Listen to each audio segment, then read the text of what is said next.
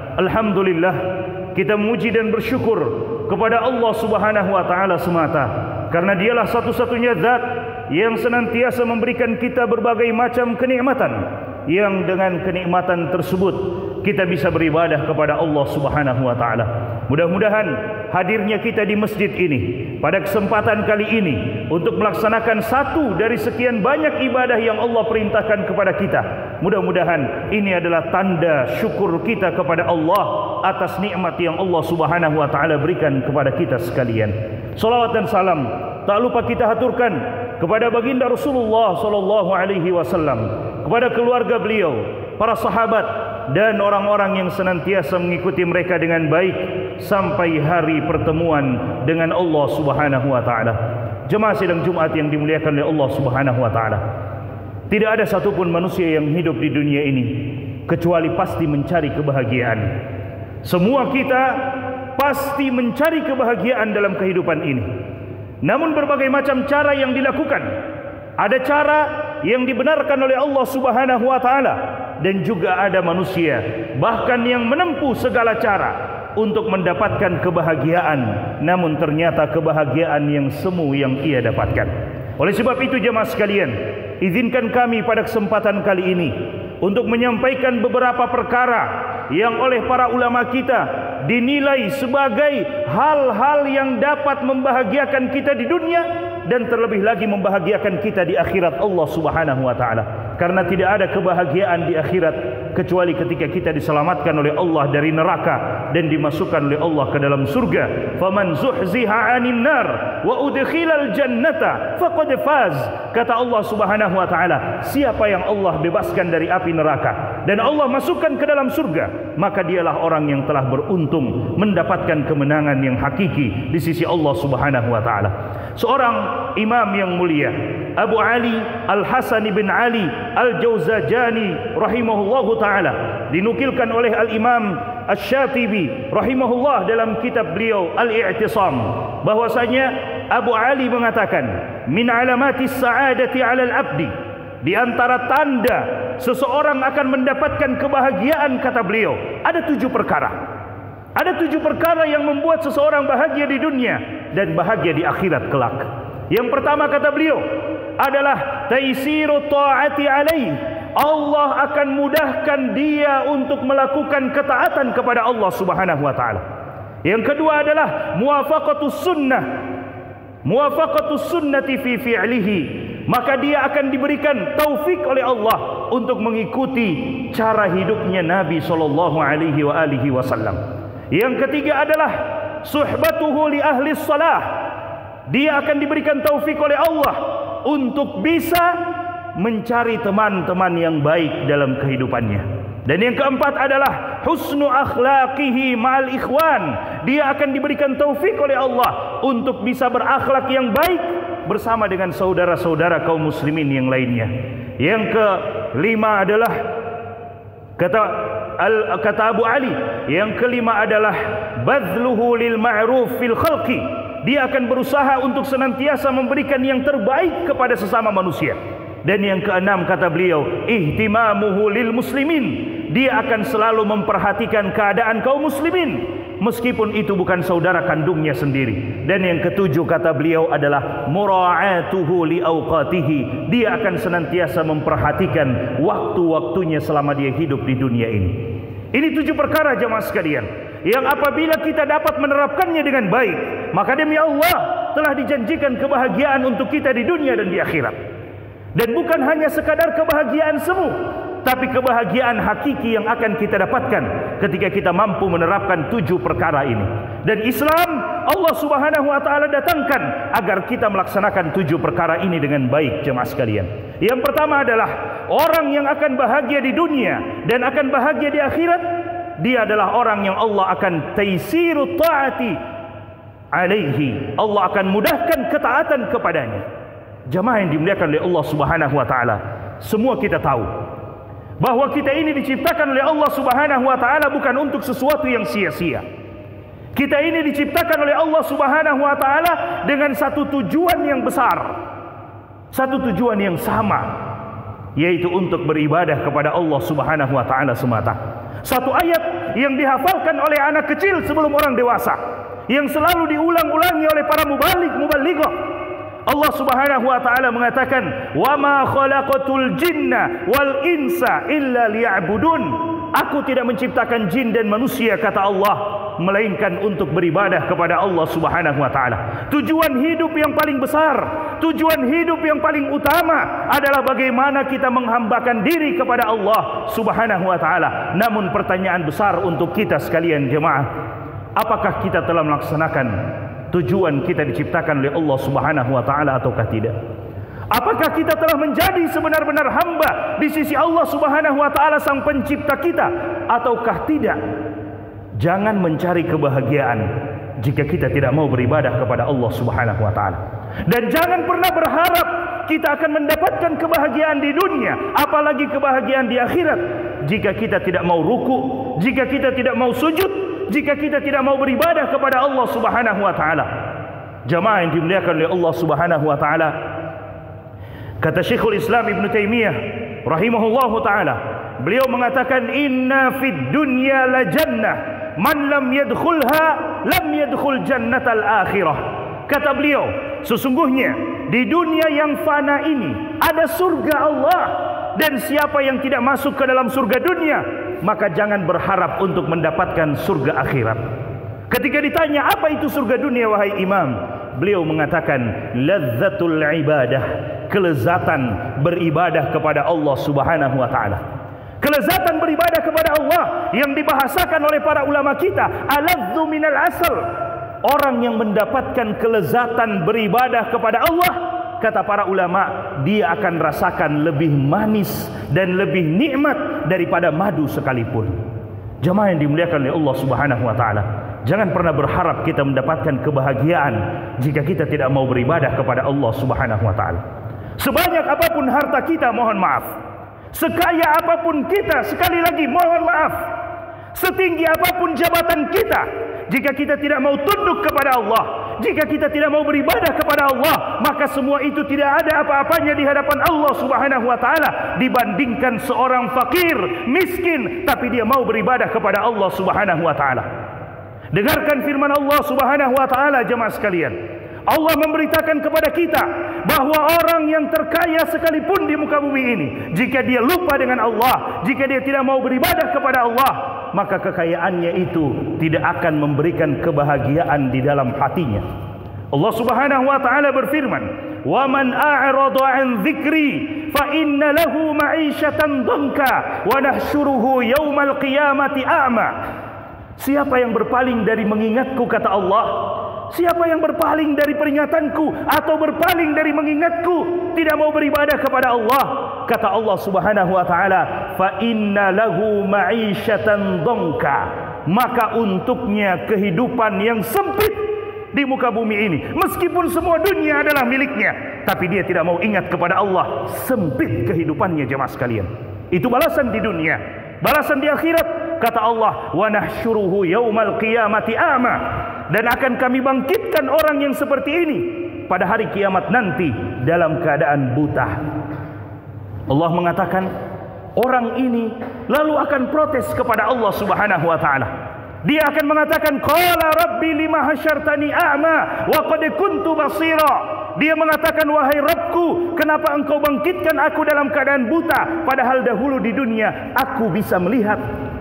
Allah Subhanahu wa taala membalas menjawab protes dari hamba tersebut Allah mengatakan qala kadzalika atatka ayatuna fanasitaha wa kadzalikal yauma tunsa. Demikianlah balasannya. Dahulu di dunia telah datang ajakan-ajakan untuk berbuat kebaikan telah datang ajakan untuk beribadah kepada Allah telah telah datang ajakan untuk mengingat Allah. Fanasitaha namun engkau melupakannya. Wa kadzalikal yauma tunsa maka pada hari ini pun kata Allah kamu dilupakan. Jemaah yang dimuliakan oleh Allah Subhanahu wa taala ternyata tidak mau beribadah kepada Allah menyebabkan kita dilupakan oleh Allah Subhanahu wa taala. Pertanyaan yang harus kita masukkan ke dalam relung hati kita jika kita dilupakan oleh Allah Lalu bagaimana kita bisa masuk ke dalam surganya? Bagaimana kita bisa mendapatkan kebahagiaan kalau kita termasuk orang yang dilupakan oleh Allah Subhanahu wa taala? Maka poin yang paling pertama kata beliau, jika kita ingin mendapatkan kebahagiaan dunia dan akhirat, hendaklah kita benar-benar menunjukkan bahawa kita adalah hamba Allah bukan hamba selain Allah Subhanahu wa taala. Kita bukan hamba dunia, kita bukan hamba jabatan, kita bukan hamba apapun. Kita adalah hamba Allah Subhanahu wa taala. Kata Nabi Ta'isha Abdud Dinar, Ta'isha Abdud Dirham. Ternyata ada orang-orang yang menjadi hamba dunia. Kata Nabi merugi dan celaka hamba-hamba dinar mata uang pada zaman itu. Celaka dan merugi hamba-hamba dirham Bahkan di dalam Al-Quran Allah mengatakan ada orang yang menjadi hamba dari hawa nafsunya sendiri. Kata Allah Subhanahu wa taala, "Ara'aita man ittakhadha ilahahu hawahu afa anta takunu alaihi wakila?" Apakah engkau melihat wahai Nabi Muhammad orang yang menjadikan hawa nafsunya sebagai tuhannya? Allah memanggilnya untuk salat tapi hawa nafsunya mengatakan nanti saja untuk solat. Maka dia turuti hawa nafsunya. Dia lebih menuhankan hawa nafsunya daripada menuhankan Allah subhanahu wa ta'ala. Poin yang kedua jemaah sekalian untuk kita bisa mendapatkan kebahagiaan dunia dan akhirat muwafaqatus sunnati fi fi'lihi. Dalam keseharian kita dalam perbuatan kita seseorang yang apabila dia selalu mencari tahu bagaimana dan apa yang dilakukan oleh Nabi sallallahu alaihi wasallam dalam kesehariannya maka orang yang seperti ini akan mendapatkan kebahagiaan. Karena demi Allah jemaah sekalian sepanjang sejarah kehidupan manusia tidak ada manusia yang paling bahagia dunia dan akhirat melebihi Nabi kita sallallahu alaihi wasallam dan kebahagiaan beliau bukan dengan kekayaan karena beliau bukan orang kaya Kebahagiaan beliau bukan juga dengan jabatan karena itu beliau tidak butuhkan. Tapi kebahagiaan beliau adalah kebahagiaan dengan keimanan beliau kepada Allah. Laisal ghina bi kathratil mal wa innamal ghina ghinan nafs. Kata Nabi SAW, bukan kaya namanya dengan banyaknya harta yang kita miliki. Tapi kekayaan yang sebenarnya adalah kekayaan jiwa kita yang siap menerima apa saja yang Allah bagikan untuk kita. Jemaah yang dimuliakan oleh Allah SWT. Kalau kita sadari bahawa Nabi adalah manusia yang paling bahagia dunia dan akhirat, maka tidak ada jalan untuk mencari kebahagiaan tersebut kecuali dengan mencontohi beliau sallallahu alaihi wa alihi wasallam. Allah berfirman, "Laqad kana lakum fi Rasulillahi uswatun hasanah liman kana yarjullaha wal yawmal akhir wa dzakarallaha katsira." Sungguh kata Allah, telah ada pada diri Rasulullah suri tauladan, contoh, panutan yang baik untuk kita sekalian. Dan Allah mengatakan, tentang akhlaknya Nabi sallallahu alaihi wasallam. Kata kata Allah Subhanahu wa taala wa innaka la'ala khuluqin azim. Sungguh engkau wahai Nabi Muhammad benar-benar berada di akhlak yang paling mulia yang harus kita contohi agar kita mendapatkan kebahagiaan. Yang ketiga jemaah sekalian yang dimuliakan oleh Allah Subhanahu wa taala yang juga tidak kalah penting dengan poin pertama dari poin pertama dan yang kedua yang ketiga adalah suhbatuhu li ahli salah seseorang akan mendapatkan kebahagiaan dunia dan akhirat jika dia pintar dalam memilih teman pergaulannya. Karena teman pergaulannya akan menentukan kebahagiaan dunia dan akhiratnya. Jemaah yang dimuliakan oleh Allah SWT Nabi SAW mengatakan Al-mar'u ala dini khalilihi Falyanzur ahadukum ila man yukhalil Seseorang itu sangat bergantung kepada agama temannya Maka hendaklah setiap orang dari kalian melihat kepada siapa dia berteman Nabi SAW memperumpamakan orang yang berteman dengan orang baik dan orang yang berteman dengan orang buruk. Kata Nabi SAW, orang yang berteman dengan orang baik bagaikan orang yang berteman dengan hamil misk, penjual parfum atau minyak wangi. Di mana orang ini jika dia bukan dapat diskon dari temannya atau dia mendapatkan parfum gratis dari temannya atau paling minimal dia dapatkan percikan bau harum dari temannya seperti itu pula orang berteman dengan orang baik. Jika dia tidak sebaik temannya, tidak sesoleh temannya, tidak sehebat ibadah temannya, maka paling minimal temannya dapat mempengaruhi jiwanya juga untuk bisa ikut berbuat baik dan paling minimal orang-orang akan melihat ternyata orang itu baik. Kenapa? Karena temannya adalah teman-teman yang baik. Sebaliknya, kata Nabi sallallahu alaihi wasallam, orang yang berteman dengan orang yang tidak baik seperti orang yang berteman dengan pandai besi, pembuat pedang, pandai besi yang kesehariannya dia berhubungan dengan api panas asap yang sangat menyengat. Orang seperti ini kalau bukan dia dapat percikan api, maka paling minimal dia dapat bau asap yang busuk. Jemaah yang dimuliakan oleh Allah Subhanahu wa taala, orang yang berteman dengan orang yang buruk, dia tidak akan mendapatkan kebahagiaan. Karena jika dia tidak ikut melakukan keburukan seperti temannya, paling minimal masyarakat akan melihat dia buruk karena teman-temannya juga adalah orang-orang yang tidak baik. Yang keempat, husnu akhlaqihi ma'al ikhwan. Orang yang akan mendapatkan kebahagiaan dunia dan akhirat akan memperhatikan pergaulannya bersama dengan saudara-saudaranya. Dia akan berbuat baik kepada mereka. Dia akan memperlihatkan akhlak yang baik kepada mereka. Keburukan yang mereka lakukan padanya akan dia balas dengan kebaikan. Dan itulah yang Allah perintahkan dalam Al-Quran. Idfa' billati hiya ahsan. Kata Allah, balas orang yang berbuat buruk kepadamu dengan sesuatu yang lebih baik agar mereka sadar dan kelak mereka akan menjadi teman baik kita.